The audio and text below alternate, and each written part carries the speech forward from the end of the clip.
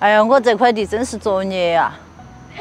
嗨，我是海妈。昨天晚上一夜狂风暴雨，听到雷声、雨声巨大，然后我心想：完了完了，我的花园可能今天要完了。跟着你们一起去看一下暴雨之后的花园。这个还可以啊，这个石灰灯还挺得住。粉色精灵这个时候就显示出来它的优势了。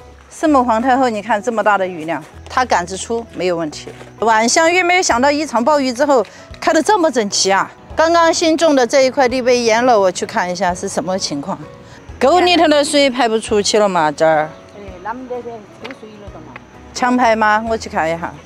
哎呀，我这块地真是作孽呀！必须要强排，不然这里头的水含水率高得很，最走的。二十。我又想起了有一年我一场暴雨，死了几十个大丽花品种，只运两小时的雨。然后呢，现在好一点，因为我用这个这个筐来种的。然后呢，这个水。透的比较快，希望今天下午再来看一下，就知道有没有风险了。因为看起来是透水还行，用筐种的，多余的水存不起。我继续去看一下花园。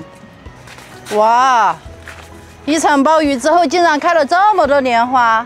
哎呀，暴雨之下，风雨兰开的好妖艳呀！哇，还是白子莲强，就啊，没有想到暴雨之后比较。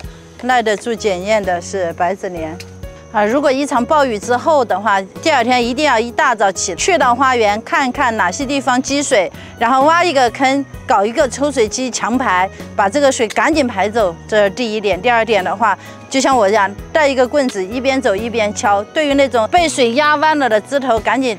这样子摇晃一下，它会好很多。然后第三点的话，就是等到天晴，像我们这样的话，会做一次大规模的消毒，就用广谱的杀菌的药剂就可以了。嗯，千百剂的好清闲这个药剂就可以广泛的用于花园的每一个角落，对于它的真菌病害进行一个消杀。鲍鱼虽然带来很多很多的不可预测的危害，呃，可能会死一些植物。但是也带来了有十六只月季花的笋芽，这个笋芽今年就要长到三米左右。利用好雨，防好雨，观众好吗？陪你种花，拜拜。